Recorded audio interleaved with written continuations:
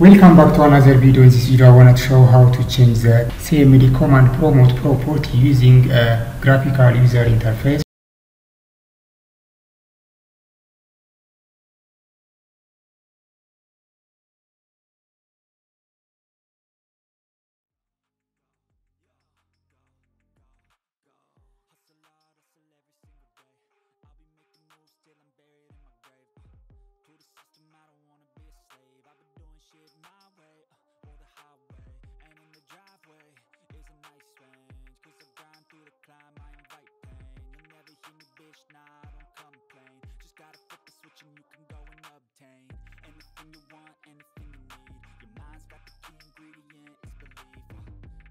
They with the negativity but I just slide right by that energy. Uh, even when you feel low you can still go.